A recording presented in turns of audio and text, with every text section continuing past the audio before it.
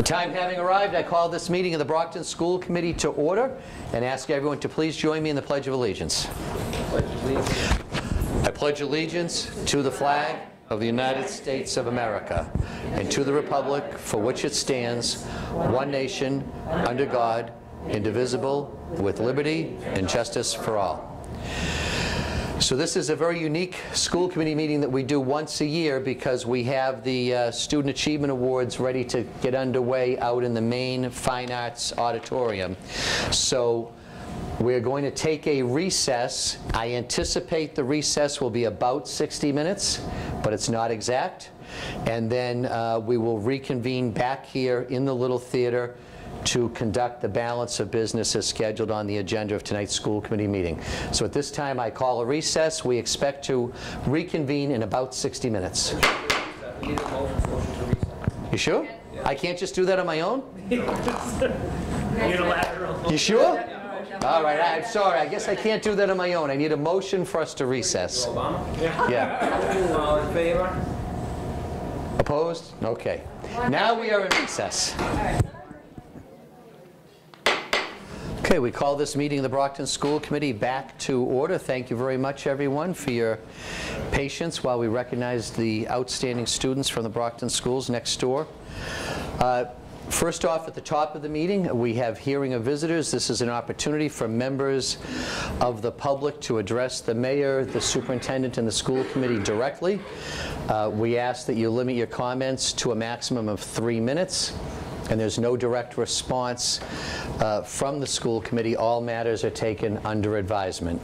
We have one person who signed up for hearing of visitors tonight, Robert Gorman.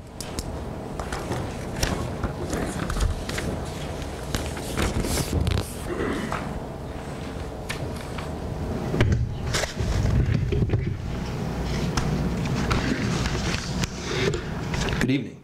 Oh, good, it's working. Members of the school committee, Superintendent Smith, Mayor Carpenter, my name is Robert Gorman, and I'm a teacher at the Plouffe Academy. I come to you today as a citizen born and raised in the City of Champions. Now, I went through the Brockton Public School System. I was encouraged by my parents to take advantage of everything it had to offer, and I did. I was in the earlier years of the TAG program at the Louis F. Angelo, where I habitually took part in an after-school computer class. I took part in intramural and middle school sports at North Junior High. When I got to the high school, I did wind ensemble, marching band, varsity swimming, and JROTC. All of these programs, sorry, all of these are programs that serve to further culture and educate our youths beyond the minimum, beyond just getting by.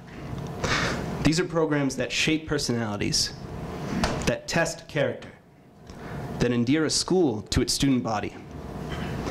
Programs like these are only possible when the school system is stable enough to support them. The education I had received in Brockton had given me the agency to claim power over my own life, the power to choose what to do with it. When I graduated college, I could have gone anywhere. I chose Brockton. I chose Brockton because I believed in it, because I knew it was an exceptional school system and that it provided hope to all that came into contact with it. I knew I wanted to be a part of that. That being said, after all that I've heard from these past few meetings, I have to wonder what the end game here is. As Superintendent Smith has mentioned, Brockton is a growing community. While we may get by with what we cut this time, what about the next time we're underfunded by poorly constructed federal funding formulas? Will that computer class I went to at the Louis F. Angelo still be there? Will intramurals? How about the marching band? Or the wind ensemble? If this continues and the school system is pushed to do even more with even less, I fear that beyond losing teachers, this gem of an education system may turn into a shadow of its former self. That will be the greater tragedy.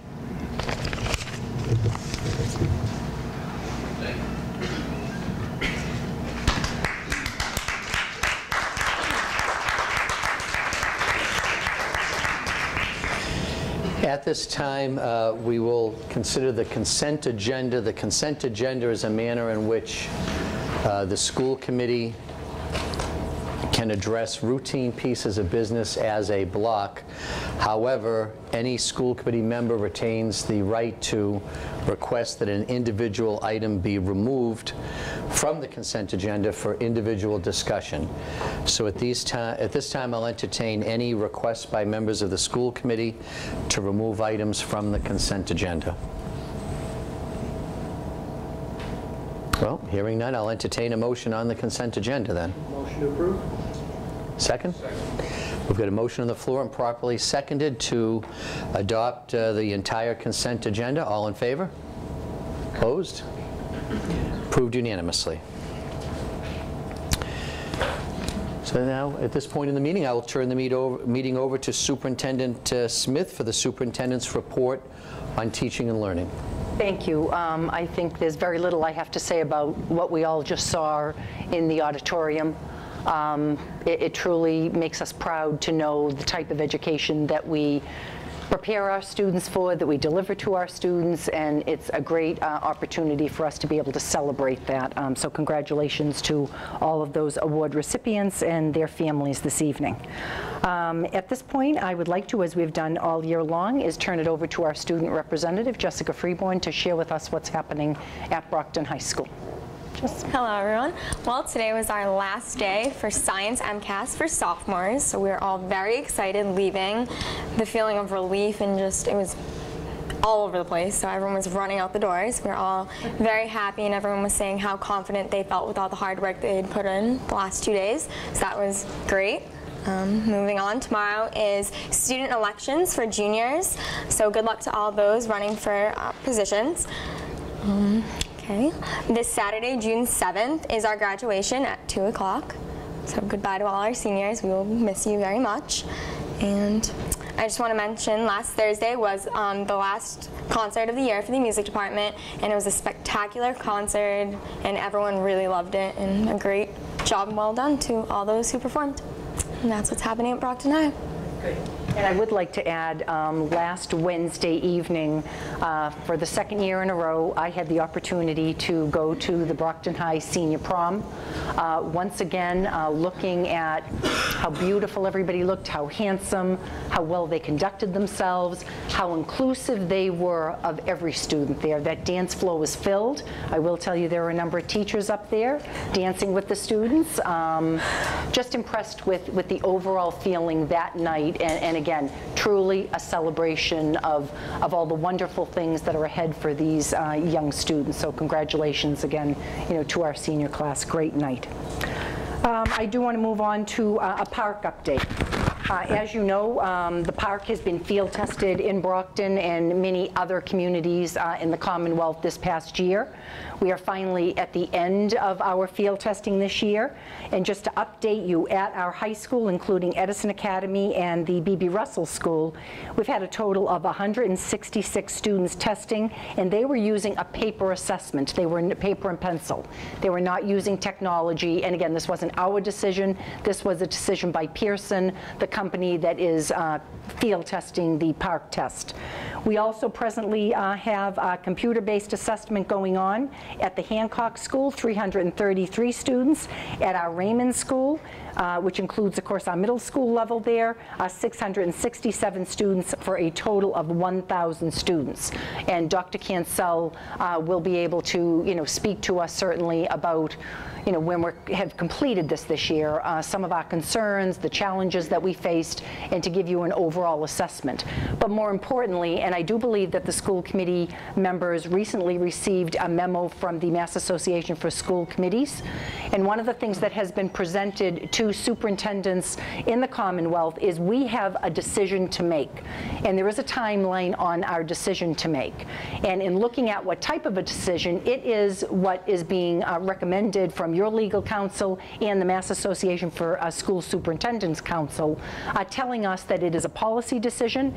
It should be a recommendation uh, from the superintendent and approved by the school committee. I would like us to work on it together. I would like to be able to provide you with some information in the packet uh, this Friday coming up of how we're going to be reaching this decision.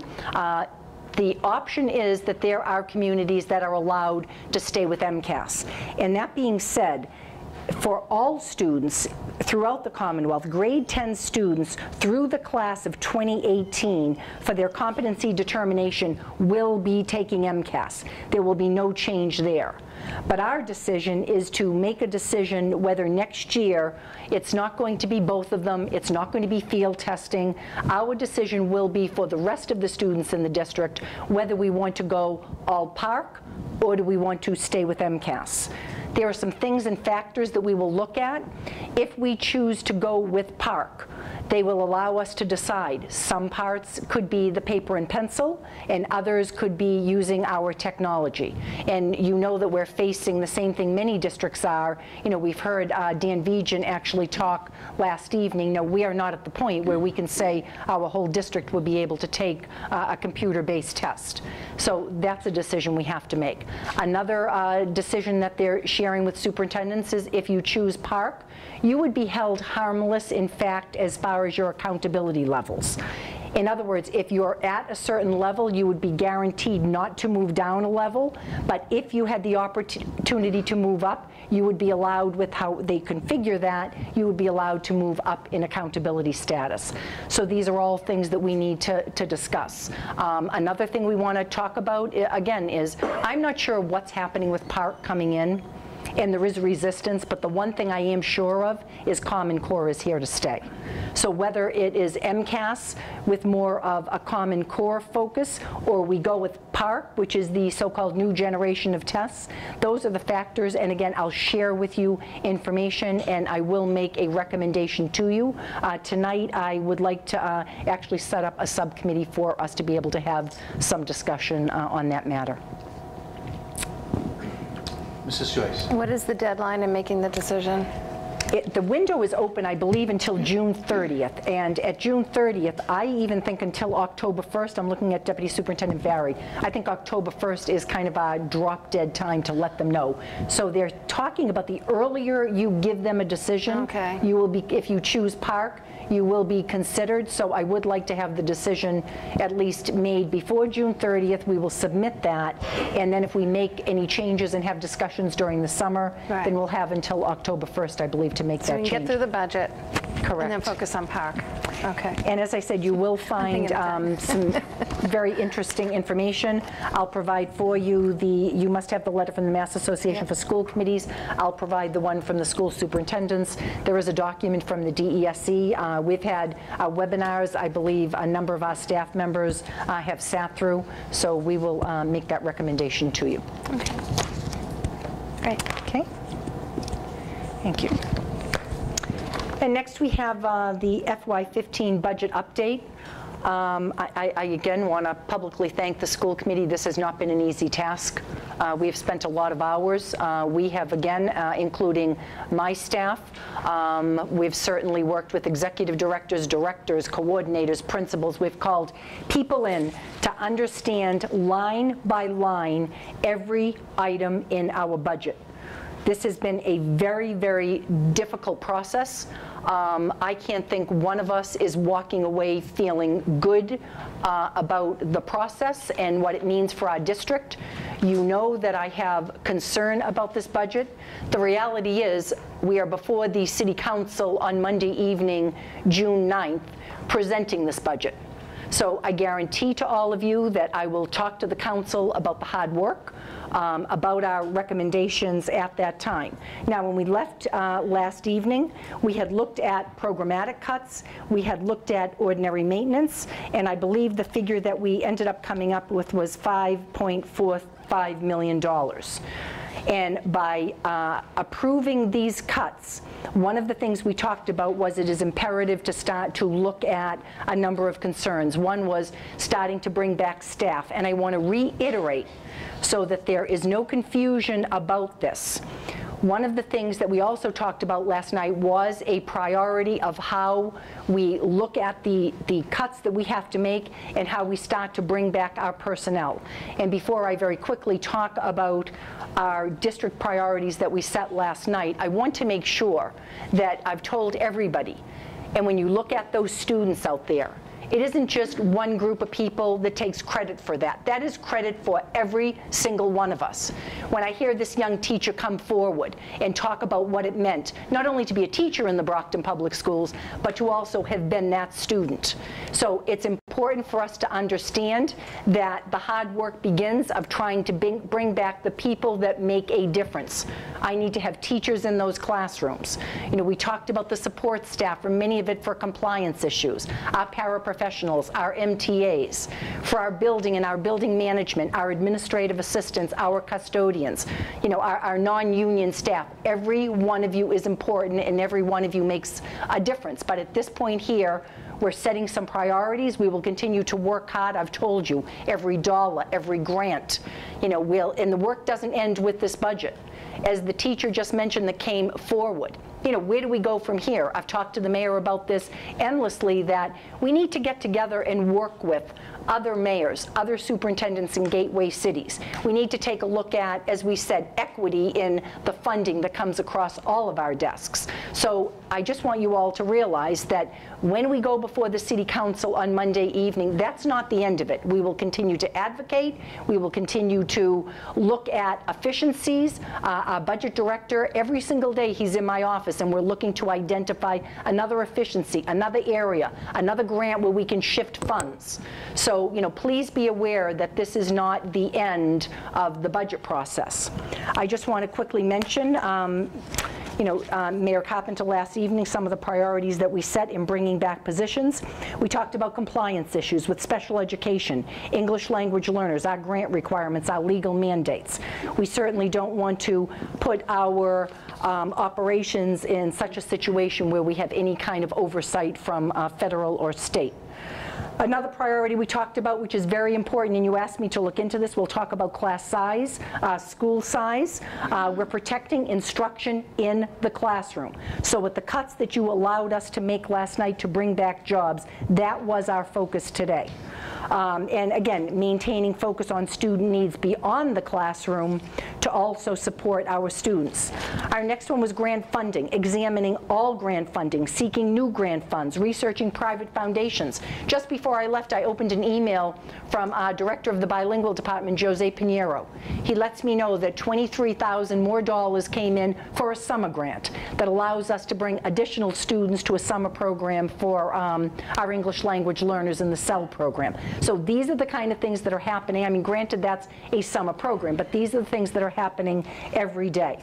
And again, our uh, last priority, we talked about, again, maintenance, uh, excuse me, uh, effective operations of our facilities and our building management. So when we talk about maintenance of our existing facilities, you know that that is a priority. When you look at, we are stretched to the limit. There basically is not a seat to be had. Uh, we have buildings that are in need of maintenance. We actually have some good news to share with you this evening about that. I need to look at the day-to-day -day operations, how we're staffing buildings, our safety and security of our students and our staff. And lastly, I want to just reiterate to everybody, we talked about district efficiencies eliminating out-of-state travel unless mandated by a grant, limiting outside professional development providers and doing that in-house, uh, reducing crossing guard posts, conducting an energy uh, savings audit, which has been conducted and something that we will focus on to look at efficiencies and energy savings. We talked about reducing substitute teachers and coming up with additional ideas uh, in that line item. Um, and again, reviewing efficiencies across the district. We do have a link open, and we're encouraging people to share with us efficiencies that we can pay attention to. So that being said, um, today, we went back to the drawing board. We spent quite a few hours, um, once again, looking at the programmatic cuts, uh, the ordinary maintenance cuts. And what I will tell you uh, again uh, tonight, if you look at making up that shortfall, we were able to, um, at this point, I'm going to recommend to you, and I'll share with you some of the class sizes, that we will be bringing back uh, with those cuts 154 certified uh, staff members. And I do want you to know that I had to take into account uh, eight staff members that are on leave and have alerted us that they will be returning to the Brockton Public Schools. So that made a difference when I look at the 199 pink slips uh, reduction in force for our certified staff members. So today we identified uh, across the district that was looking at classrooms, looking at instruction from elementary to middle school to high school, 154 staff members. Um, There was some money left there, and that's where some of the compliance issues will come in. We talked last night about focusing on our MTAs and our paraprofessionals that support um, a number of our special needs classrooms, our bilingual classrooms uh, that are, again, part of our compliance. Um, What we will do at this point, again, is um, I'll bring up, I'll start with uh, Deputy Superintendent Liz Barry, and we'll start to talk about what the numbers are looking like at our elementary school with the uh, cuts as they stand right now. Dr. Barry, can I? And you also had asked me, uh, and this was a little bit different, Dr. Cancel and I went back and forth on this quite a bit, but you had asked me um, as a school committee to give a three-year average, because as we talk to you at this point in time, what this means for class size throughout the district. From June 1st until September 1st, we know that there will be registrations in the Brockton Public Schools. You asked me to go back and look at a three-year average, so I'm not talking about an October 1st report. I didn't look towards October. That doesn't mean that after September 1st, there might not be additional students that come across our doors. But from June 1st till September 1st, when we open school, we took a three-year average, and uh, you'll be able to take a look at that. So for elementary, I believe we're looking at an additional 85, uh, middle school an additional 29. And when you look at the high school, I do want you to understand that the past couple of years, we have done an excellent job of identifying those students that either have re-engaged after dropping out or those students that we catch before they drop out. And a lot of this has to do with our multiple pathways, one being, of course, our Edison Academy. So that's a little skewed as far as our high school number goes. I don't want you to think the 207 students are showing up on the doorsteps of Brockton High School between June 1st and September 1st. It was a little bit more difficult to calculate. So, Elizabeth Barry? Sure. I actually um, put a handout on your um, places b- before you came in, Um, and it was in response to the request that we um, talk a little bit about um, class size averages at, at each level. So I'm going to talk about the elementary level, and what you have in front of you is really just some projections for kindergarten and grades one through five. Uh, For the grades one through five, we base the class averages on taking the current kindergartners in and rolling them over to grade one. Um, So that's how we're getting those class size averages for grades one through five. And as you could see, um, one through five, we are um, as low as 25 and as high as 28. Um, And the important point to make here is that um, this is just looking at our current enrollment.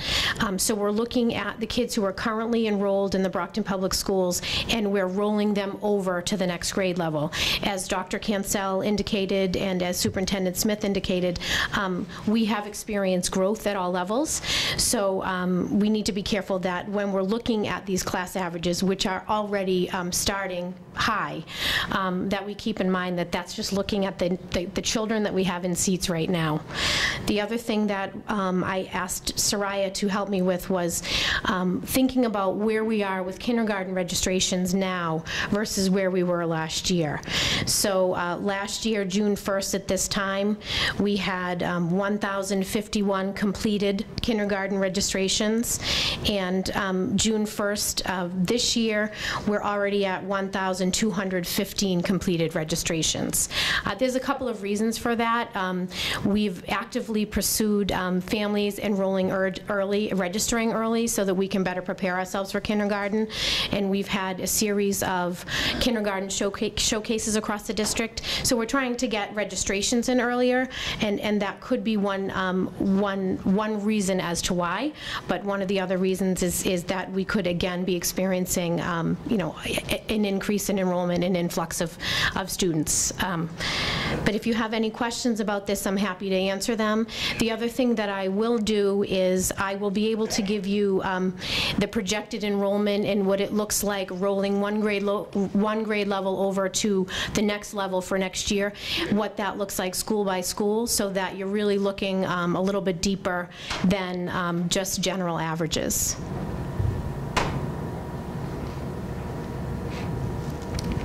Oh, I'm sorry, uh, Mr. Minichiello. Good evening, Mrs. Barry. Um, Mr. Minichiello? So with respect to these numbers, these projections, um, in order to maintain this level, we would need to recall 154 teachers. This, these numbers, uh, these class averages are based on our existing teaching population, meaning that we did not account for the fact that teachers were, um, there was a reduction in force.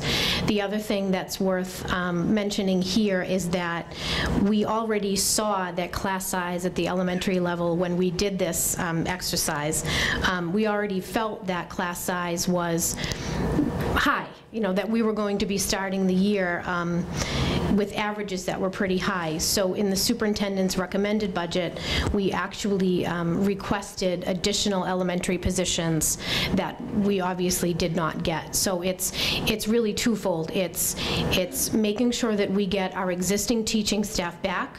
um, That would be 199. But, but I'm just talking about the elementary level here. Okay.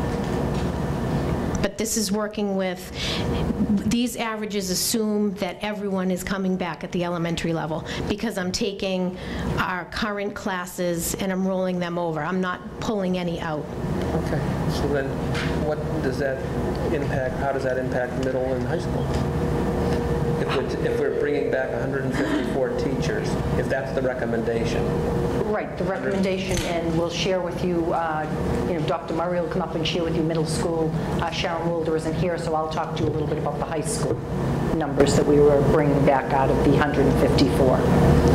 so bringing back 154 will allow you to continue what's ongoing currently in the elementary, right? No, you- we'd have to bring back 199 teachers to continue at the elementary. When, when we did these projections, we did not take out those positions that we could essentially lose as a result of a reduction in force. Um, And the rationale behind that is to really validate the need for making sure that we start next year maintaining those positions. So basically, I I think at this point here, if we're placing this budget to the city council on June 9th, then these numbers would certainly go up. And we saw numbers today that were some classes close to 28, 30, 34 in a class.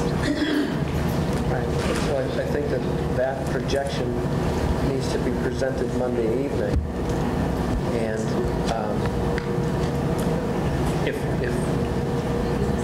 Also going to need to see, in order to maintain what we have, when you're telling me that we need 199 teachers called back, Correct, and and I think, again, you know, what Deputy Su- Superintendent Barry, you know, is saying to you, when we do talk about the superintendent's recommended budget, you know, there were items in there to relieve the large class sizes that we have at the growing elementary level.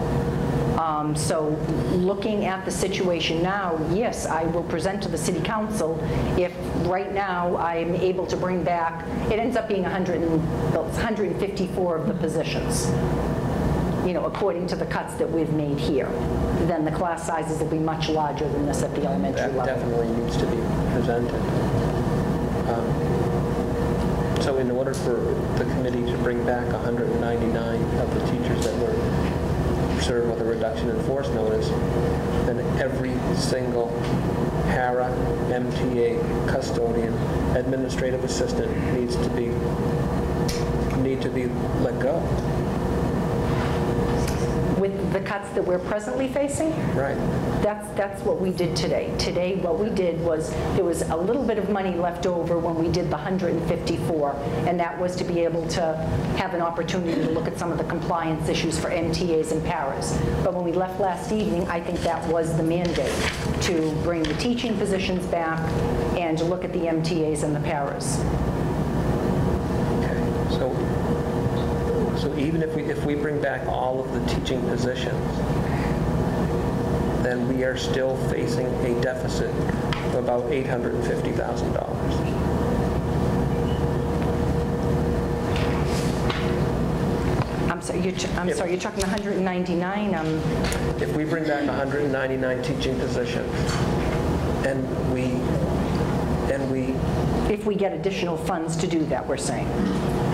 No, I'm talking about the, if the budget that we currently have. Right, we're only- The $160 million budget that we have. Right. We've got the $5.7 million gap. We basically, uh, lo- we basically last evening um, used OM and programmatic cuts and came up with approximately $2.3 million worth, 2.5, I think it was. So the difference um, is about 3.1 million.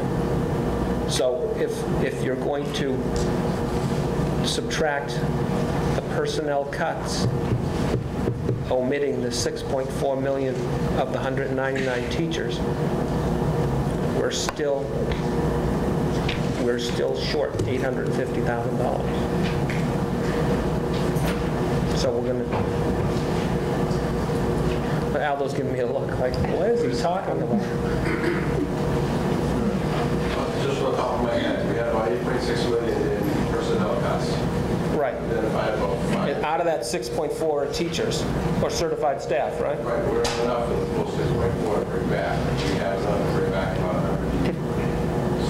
160 or so. So it's about 540. That's, that- that's what I'm, my point is, you cannot bring back 199 teachers. Correct.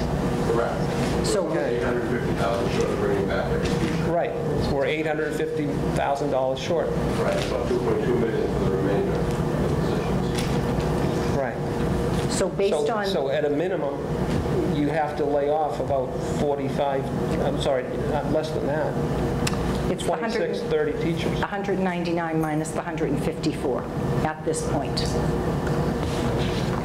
That's 45. They weren't counted in the RIF mixes. Okay. But they'll come. All right, I, I see what we, I see what we have ended up with. Okay. Uh, Dr. Murray, would you like to come and share with us the impact on middle schools? I'm sorry. Yeah. on this map. Um, I I completely agree with, with uh, Tom's concern about only bringing back 154 of the 199, because based on these numbers, we're already going to be short-staffed at the, at- in the classrooms based on current numbers. Now, you've given us another sheet that projects in the elementary, another 85 students, which is about, if you take 25 students per class, that's another three and a half classrooms. And in the middle school level, that's a little over one classroom at 29. That's not even counting the 207 kids at the high school and the impact on class sizes there, based on bringing all 199 staff members back, or teachers back, it doesn't address the projected gain. It doesn't. So you're, you're recommending that we, we short staff our, our classrooms by 45 staff members, and then we've got a projected gain, we're going to look at even higher class sizes. I don't see how you can recommend 154 coming back. Well, I'm When, I think when we have to address the class size needs, that's priority. 154 doesn't address that. Right, but looking at the monies that we had available to bring staff back, we were able to bring back 154 classroom teachers and based on certain cuts, but if we take other cuts, if we took every single other cut from the staff levels, it gives us another two, two, 224, no, let's see, 2,248,000, almost 2.5, 2.25 million, if we take every other staffing position up here. The 260, the 315, the 411, the 44, the 840, 336, and 442. And the staffing levels up top. Correct? Uh, Mr. Petronio, I'm, Those totals have already been counted in the bottom, that's where you get, the way that sheet reads, the, the the red line at the top is what we're short on budget, 5.7 million. Right. The green line at the bottom is 11 million of cuts. That's all those positions, plus all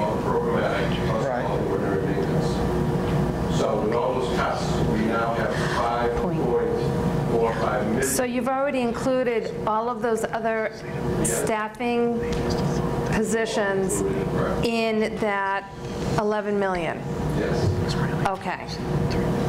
That's what I needed to understand. I was really hoping you didn't include those. I thought I missed something.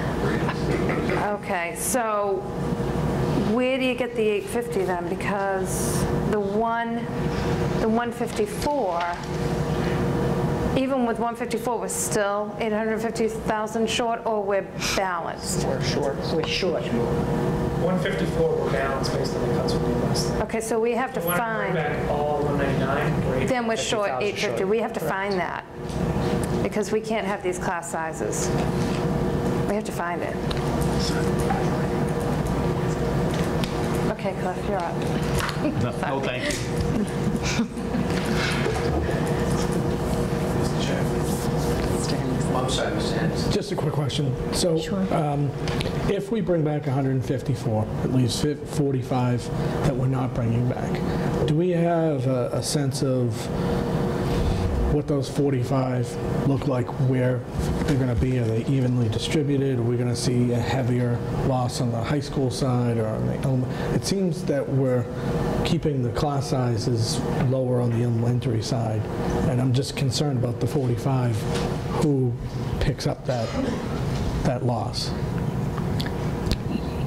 What, actually, the class sizes that you're seeing on the elementary are larger than this based on, right now, if we're talking 154 mm-hmm. staff members coming back between elementary, middle, and high school. And we'll talk a little bit about the middle and the high school. But what we did do today was we went back and we looked at every single teacher that had a reduction in force, and we identified, are they a classroom teacher that provides instruction? That's not to say that a school adjustment counselor, um, a nurse, uh, I could go through the list, a guidance counselor, um, an art specialist, a music specialist. We put those to the side right now so we could focus on instruction in the classroom. That would be our first phase of bringing back positions based on the uh, amount of money that we had from last night, the 5.45 million. That's what we base that on. So the 45 So- teachers are, it could be not They- teachers in the They are through each of the different levels. Um, One of the things that we, again, focused on was our largest group is elementary as far as where the numbers are, where the population is, where your largest class sizes are. That's not to say, when I talked to Dr. Murray and asked him how this would affect middle school, he's going to share with you that depending on what positions he brings back, he could have students in a cafeteria, basically in the old study period type things. If we didn't bring back an art teacher at a middle school, if we didn't have a certain specialist, it clearly, you know, affects the school. Uh, Sharon Wolder is at an event this evening for, I believe, the band boosters. But just looking at the high school, we immediately again, and you know, Sharon looked at me and said, Kathy, in your superintendent's budget, I told you I needed nine more math teachers. I understand that. But at this point here, with what we had at the high school, we went through, there were 42 members of the high school staff that got reduction in force notices. Um, And there were from the, uh, from those uh, 42, we were going to be calling back 37 classroom teachers immediately.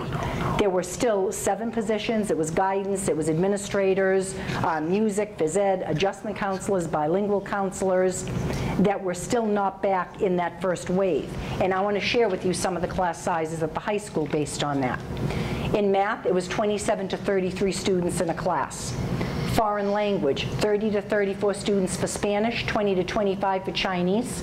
Uh, At this point here, we don't even have enough languages for everybody to get into a four-year college, some that want to continue to take Chinese. Science, we capped those classes at 30, at 30, because of safety. So those are concerns we have. They're working with, you know that, with chemicals and labs. English, we've kept it 30 to 1. Our social science classes were 25, 28 to 35 students in a class. We're concerned, and you know that uh, Principal Wolder has come before you with accreditation. We think that that put- puts us at risk at accreditation as far as those kinds of numbers. But that's what we were faced with today. Thank you. And I just, you know, just to pick up on that point, um, I- the the elementary structure allows us to to really speak about it in this type of detail, um, just because of the way that the day is structured. Um, The middle school and high school level, it- th- this type of illustration is is is more difficult. So Dr. Murray is actually going to speak to you a little bit about um, the impact that um, reduction in these positions could actually cause. Uh, Thank you. Uh, We're, again, not in the uh, same type of schedule format as the elementaries. Um, Our core classes, those would be the the typical math, science, English, and social studies. The numbers will average between 28 and 30 students. In some cases, as you get uh, in the seventh and eighth grades, you may have a a class with a an advanced level or some other kind of special requirement where you could have upwards to 34 students. Obviously, that would be balanced uh, in a different period.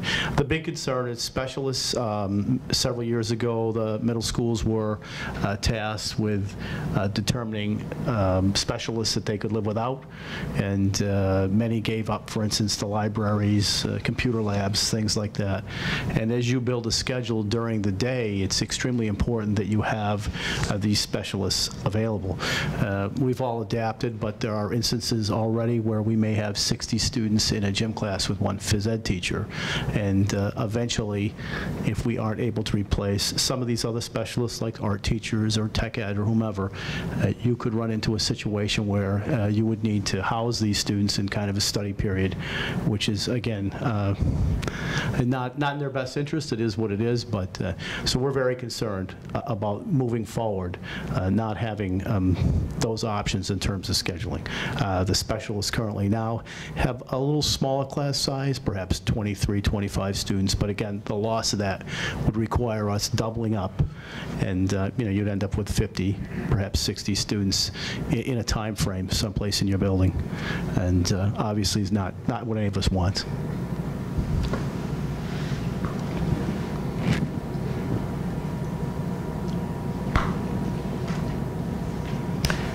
You know, we have a budget meeting, another budget meeting coming up, um, I believe on the 11th. Uh, I'm not sure if you're telling us to go back to the table and start to look at sports? Do we start to look at additional extracurricular activities? Do we, you know, do we go back and make sure, again, that teachers are in the classroom and and we can, we can do without, there were, there were other things that we could have brought to you. We were trying to maintain some kind of a balanced education for the students, and uh, I don't want you to think for one minute that my hope was that this budget would stand. And I've been very clear about that, and I hope to advocate for additional monies that we can bring in. We have until June 25th, which is our last day of school, to bring back our certified uh, staff members and our non-certified staff members before we're dealing with unemployment and, and other things that many of us don't have any taste for. Math says that we can bring back 164, but whatever. Um, But we still don't know what we have with regard to attrition, right? Right, can I address the 164? So with the 154, there were eight that alerted us that they are coming back from leave. So So that brought me to about 162, and we were looking for a little bit of leeway with some of the compliance issues. That's where we're at today, and that's why. okay. Um, Now, have we talked about attrition yet? Because I don't, is that factored in, Aldo, the attrition? You know, I haven't factored in attrition because as it stands right now, we're trying to get back to 199 positions. Anyone that does retire, we're looking to replace. We're trying to maintain the full staffing level we have in place for certified staff. We're looking to reduce, you know, you said to us, reduce 20 positions permanently from the budget, that would, that would make more sense. But right now, where, where where our enrollment is growing, and we're trying to maintain class size, looking at attrition, um, factoring that in doesn't help us. There have been some years where you have had administrators retire and you didn't replace that administrator. Presently, I don't have those positions available. You know, if somebody were to take an early retirement, if it was an administrator, if it didn't affect the classroom, then we can take a look at that. And we will, you know, that letter is being prepared to go out to staff members. I can't tell you this is a year that, meaning the year upcoming, I'm not talking presently, that we have a lot of retirements projected, but we are sending that out to staff to see if we can encourage an incentive for an early retirement. And that we could look at, that would be, of course, with attrition, we wouldn't bring a position back. And, Grant, any movement on grants? You know, not at, at this time, um, you know, not where we stand today. We're continuing, I think I shared with you some of the grants that we're working on in the grants department. Um, As soon as that happens, I will, uh, you know, immediately, we will start to bring people back based on grant positions. One of the ones I know we have been talking about we have a grant called the Carol White Grant. Uh, An amount came in uh, about a month ago, and it was halted. And it wasn't halted by us, it was halted by the federal government, who were looking at the awards at that time. So again, we are aware that there are some positions in that grant. There are some some phys ed positions, and I believe there is an administrator position in there. We're trying to understand the language. It talks about surplanting. I don't want to surplant, but right now, we have lost certain phys ed positions. Is that a grant that, once I get clarification on that, that I can bring back some of the positions we have lost in that particular area, and immediately we'll go there with that grant? So I think it's a fluid situation, and, you know, as I said, it's, it's something we're working on every day. Uh, But at this point, I believe tonight was to prepare us for Monday evening. Yeah, definitely, but I- I I guess we definitely have to, Monday evening, express what we, where we are at. And then for our next meeting, um, we're going to need, it, I guess, another sheet with some more recommended cuts in order, if, if you need 199, Correct. then we're going to need additional items to consider eliminating. Well, first of all, um, when we talk about Monday evening, uh, as I said, uh, I have the opportunity uh, to speak to the city council. I will be very, very clear. Uh, I will start to talk about, um, again, it took me a whole year. I was elected as superintendent about a year ago. I spent a good part of this year talking to constituents, talking to businesses, talking to parents, looking at a district review that came in in November, looking at challenges. I mean, I've sat here with you. I did the entry plan and talked to you again about what we needed to move the district forward. Many of those positions were in the superintendent's recommended budget. We then very quickly went to phase two of the budgeting, which was our level services budget. And that was, I believe, at 166 million, which would have allowed us to operate as we're operating today. Even then, we had concerns. We had concerns about class size at the elementary level, math teachers at the high school level. There were a lot of concerns, and when you talk about that 166 million, you know what we did that night. We immediately took out the facility master plan. We took out, you know, millions of dollars in technology that we need. We started to really shave down to even exist as we are today, uh, to where we presently are today. So as far as that opportunity Monday evening, I will make that very clear to the city council, you know, where we have come in a very short time, and I will share my concerns and, you know, is this the best we can do for our students? I've made it very clear to everybody, I have no problem advocating. I have no problem talking about my recommendations for how the city can help us, and I'll continue to do that. But you're right, on the 11th, uh, at that point, as we get close to the 25th, if we need to make harder decisions and programmatic cuts, you're going to cut very, very deep into this core with, with, again, you just sat in there tonight and you watched, you know, the awards for our students. Um, I guarantee you it'll affect that. But I think that those, those harder, deeper, nastier cuts need to be expressed Monday night. Do you know what I'm saying? Because that's, that's where we currently are at. Even though last night's finance committee meeting, um, you know, we weren't at that point, but after your, after you took our instructions about what is the number of certified staff we would need in order to maintain the classroom, you basically found that you need 199. So in order to do that, we're still shy um, multiply, what, 32,000 Aldo, per teacher? Per callback, yes. Per callback, right? 32,000 per callback, mm-hmm. so that comes to about one, $1.1 million. dollars.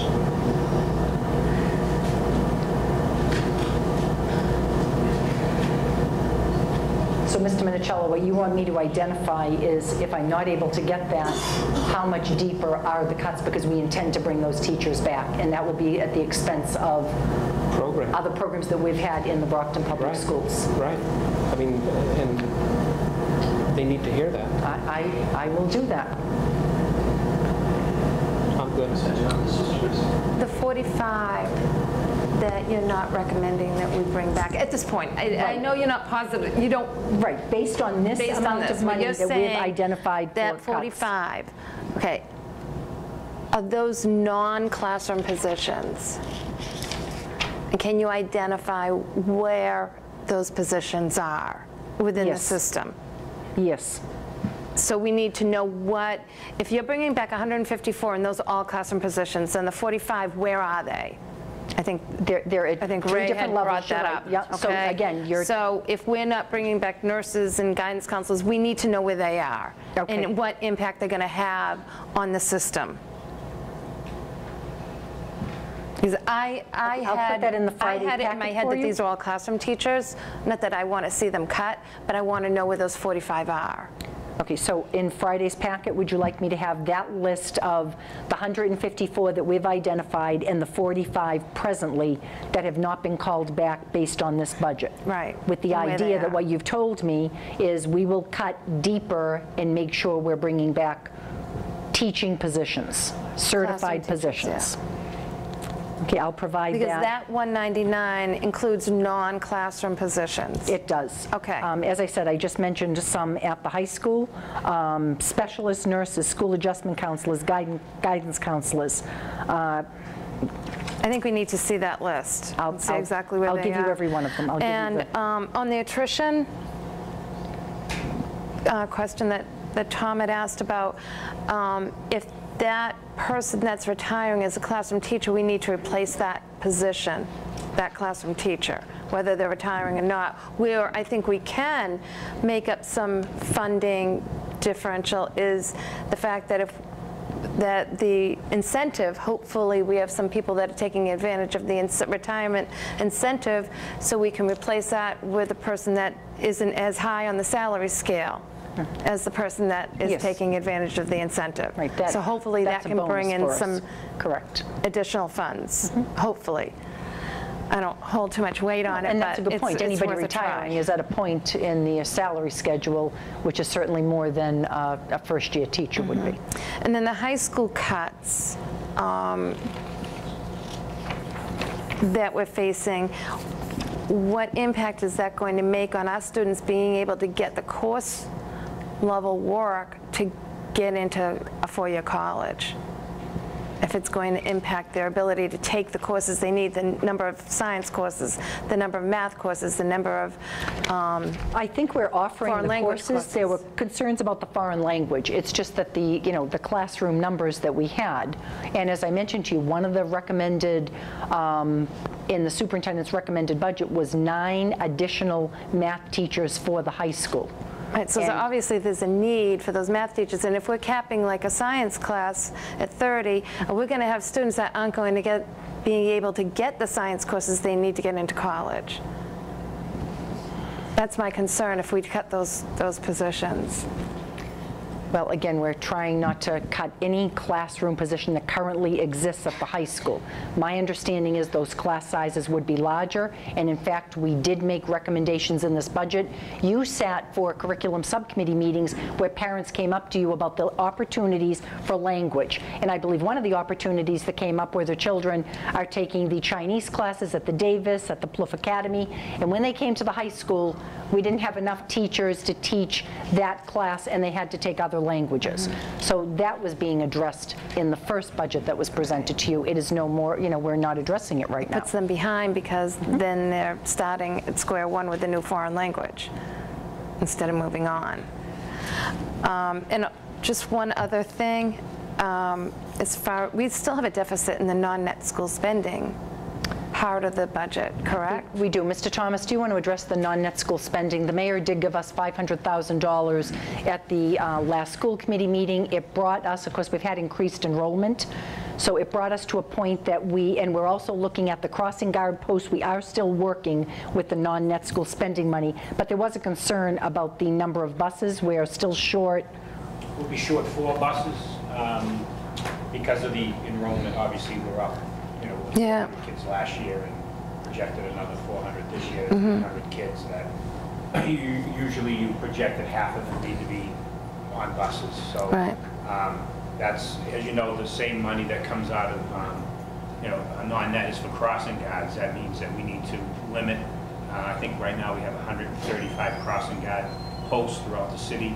We need to look to um, reduce the number so we can take that money and put it Yep. towards buses. Yep, okay. So that's, that's still in process? Yes. Is That's it a- a work in 700,000 we're process. short on non-net school spending? 700,000 of the requested amount, that requested amount included three more buses? But as I said, we'll look at the crossing guard posts and we'll try to make up as much as we can of that 700,000. But I agree with Tom, I think the city council needs to know exactly where those 45 positions are at least, and what impact they have, based on what we have right now. And then also, with the projected enrollments, how it's going to impact class sizes when we don't, we don't have those teachers to put in those classrooms for the increased enrollment. I'm presently preparing information for the, the Monday night meeting.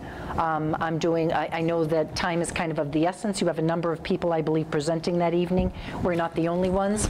I would like to do a very quick PowerPoint, make sure there's something in their hands, and I'll make sure that class sizes are based on the 162. So it's 154.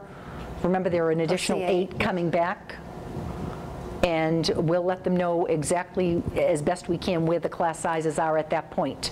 And what I will tell them again is where we're going to continue to meet, and on the 11th, uh, if we're going to make that a priority to bring back the rest of those positions, how deep that cuts into other offerings in the Brockton Public Schools. So I will come back with another group of programmatic cuts for you, because there's no place else for us to go.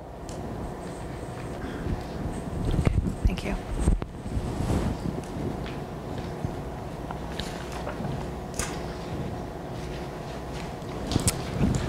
And uh, again, that's my update on the uh, FY15 budget.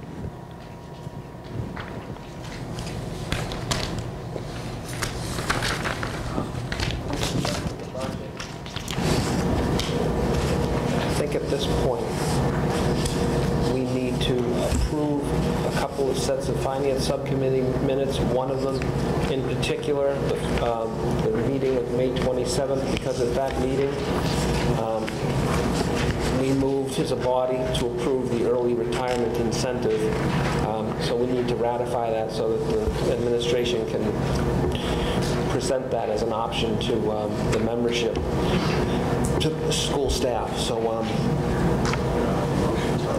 sure, so, so at this point, um, let me just report in on the minutes of that meeting. Okay. Because we have to approve the report.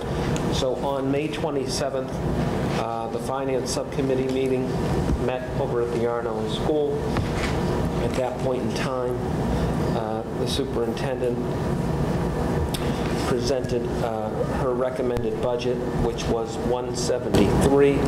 However, based upon the uh, 2015 budget proposed by the mayor of 160, 635, 189, we went through the preliminary pro- programmatic operating, um, ordinary maintenance, and staffing level reduction cuts that were presented that evening. Um, Further, in that meeting, we were presented with a recommendation with respect to an early retirement incentive program unanimous- unanimously approved that presentation.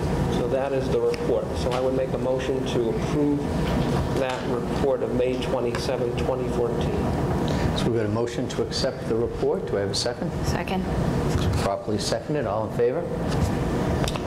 And then I think we need a specific motion to approve the early retirement incentive as presented on May 27th. So I'll make that motion. Second. So that we've got a motion on the floor now to approve the early retirement incentive as outlined in the May 27th Finance Committee meeting, properly seconded. All in favor? Passes unanimously. And the second set of minutes uh, come from the other last evening, June 3rd. At that meeting, we went into, we proposed staffing level, programmatic, ordinary maintenance cuts in much more detail. Uh, We itemized a number of categories, and we made recommendations that were still going to be subject to final review pending um, the um, status of our budget. Um, We identified areas of concern and instructed the superintendent to come back with the impact upon classroom, classrooms throughout the district, which obviously she presented to us this evening. And um, we then made a decision to come back uh, next week on the 11th, right? The 11th, uh, for further review uh, and in preparation of um, our final numbers pending possibilities of uh, fluctuation if in fact other sources could be identified to um, buffer the 160, 635, 189 figure. So that was the minutes of our meeting of last evening. Motion motion to accept the report? That report of June 2nd. June 2nd, sorry, yes, June 2nd. Okay, so we've got a motion on the floor to accept the report of the June 2nd Finance Committee meeting, seconded by Mr. Jordan. All in favor? Passes unanimously. And then I think we need to also make a motion and approve the FY 2015 school committee net school pen- pending budget, which is currently at 160,635,189 as proposed by the mayor, um, for submission to the city council uh, at the um, meeting currently scheduled for Monday, June 9th. And that would be net school pending budget. Okay, so there's a motion to adopt the figure that Mr. Minichiello gave for net school spending, 160, 635, 189. 160, 635, 189. Second? That's not right, is that the right number? 160, not 166. 160, I said 160. 160, 635. One hundred and sixty million, six hundred thirty-five thousand, one eighty-nine. I'm sorry if I said it too fast, I have it written down in front of me. One hundred and sixty million, six hundred thirty-five thousand, one eighty-nine. For clarification. So we've got a motion on the floor to adopt uh, that net school spending budget. Second. Properly seconded. Any further discussion on the motion? All in favor?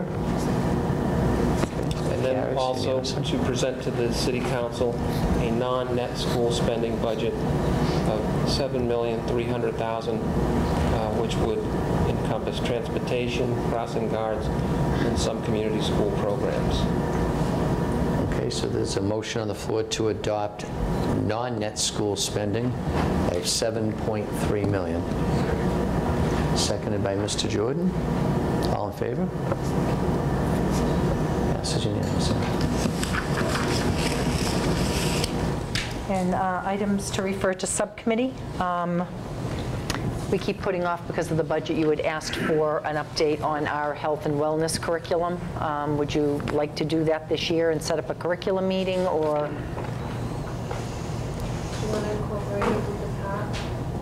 Under a curriculum subcommittee Yes. meeting? Okay, It's a good idea. okay. Okay, so, so the uh, per- uh, curriculum subcommittee uh, that will have both uh, discussion of PARCC and also discussion of the health curriculum on that agenda. Could we also, on that evening, do the decision on PARCC under mm-hmm. policy? That'll be, because we'll have the presentation. It's the same We can ask subcommittee. questions. So on the same evening, then we'll also schedule a policy subcommittee for the purpose of adopting a policy regarding PARCC. Everyone's good with that? Okay. And we did have some good news today, if that's possible. Uh, Mr. Thomas, you want to come and talk to us about the Mass, uh, Mass School Building Assistance Program and your award today? Our award today. Good evening. The um, MSBA contacted me this morning, um, and they are having their board meeting tomorrow, and they said they were going to invite four of our schools into the Accelerated Repair Program. This was formerly known as the Green Repair Program that we took part in um, three, three years ago, that was completed two years ago. Uh, So the four schools in program, and actually the work to be done, the Ashfield, which would be roof, uh, roof replacement and boiler replacement, uh, two boilers actually. The Brookfield would be a full roof replacement. The Gilmore would be roof and boilers, and then the Barrett Russell would be windows. Uh, They'll vote on that formally tomorrow at 10 a.m. And um, then obviously they will send a le- a letter to the mayor, um, and then asking the mayor and the um, city council to enter into the feasibility study phase, which is the phase where the architects come out, uh, study the projects, and basically put a price tag on it. And then they come back to the mayor and the city council to basically um, look for the funding. That is a total of 120-day process. So um, both sides able to take a long look at the feasibility studies and be able to make a decision about funding. Um, Again, we are still at the 80% reimbursement rate.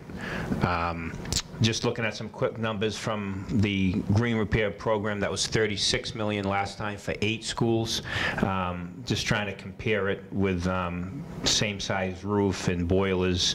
Um, You know, just, again, this is a rough estimate, probably somewhere between, this one would be about between 10 and 12 million, I would expect, again, with taking into consideration inflation and um, what the roofs cost last time around. So that's just my educated guess. So um, that would, you know, would, would be on the hook, the city would be on the hook for 20% of that.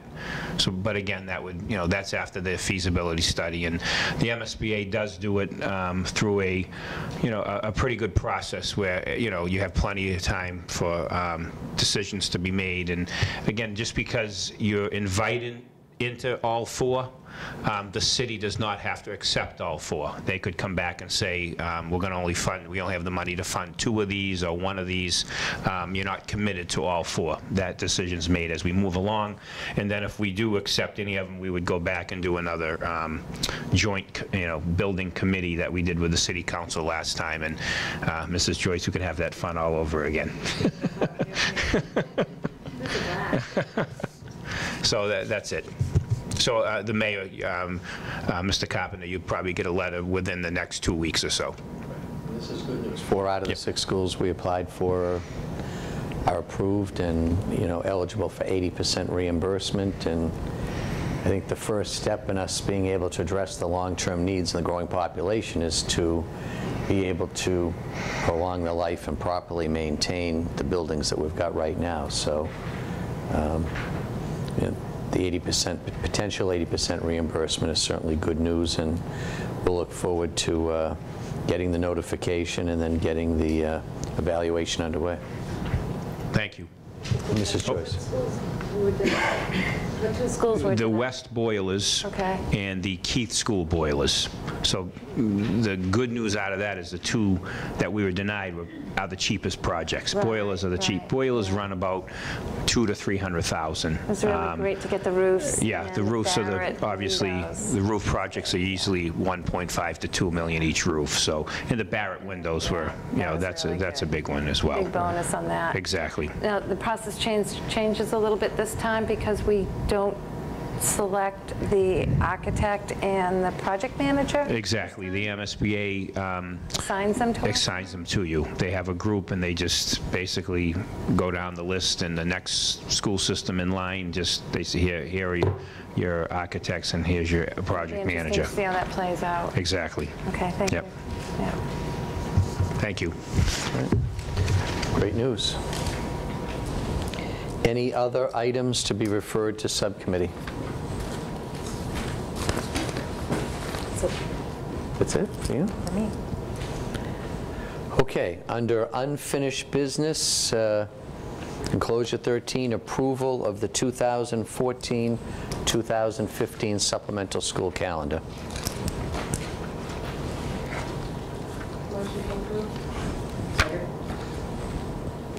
Motion has been properly made and seconded to approve the 2014-2015 supplemental school calendar. All in favor? Opposed? Approved unanimously. And then I guess under new business, uh, we've been previously provided with uh, 2014-2015 student handbooks, and I believe we're actually looking for the vote to approve those tonight. Yes, these are the, uh, this is the, Mr. Thomas, this is the draft version? Yes. Okay. So is there any discussion on student handbooks? I know those were all sent out to the school committee members in advance.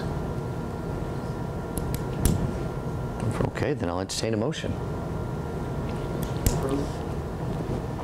Seconded, all in favor? Okay, carries. Handbooks are approved. Uh, Any other new business?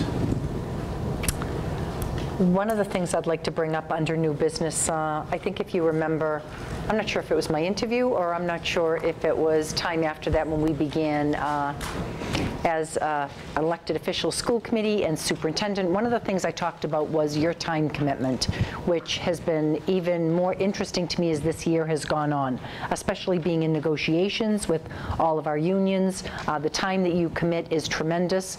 And one of the things I also had talked about was highlighting some of the good work that you do to make sure that people hear the things happening with our school committee.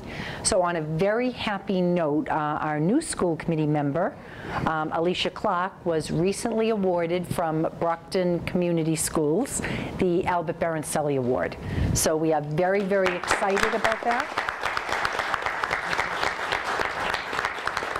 I don't want to steal the thunder uh, of the Barancelli Award itself. Uh, With our new director, Maxine Richardson, there will be, I'm told, a special ice cream party coming up, and it will be at the Ashfield Middle School, because that's where uh, Allisha Clark actually goes during her, if you can imagine, free time, and works with our special needs students. And the letter that came from Christina Lutz, talking about what you do for those youngsters where everyone's accepted, everyone's a shining star, whether it's arts and craft, whether it's attention, everybody belongs, and I'm sure Albert Bar- Barancelli would be very proud of that work that you're doing with our students, so we're very proud of you.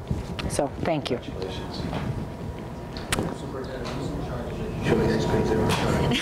Not you, right? So Mr. Minichiello was referring to a Christmas ice cream party we had from Peaceful Meadows. It did not arrive. I invited him to come. I, We did two hour delay or something. I think I owe this whole school district a big ice cream party. Make sure you assign that to someone. I promise. I will make sure Maxine Richardson takes care of the ice cream party. Are we looking to go into executive session? Um, Not that I know Not that of. I'm aware of either. Okay, No. just making sure. Anyone else under new business? If there's no other new business, I'll entertain a motion to adjourn. Second, all in favor? We are officially adjourned.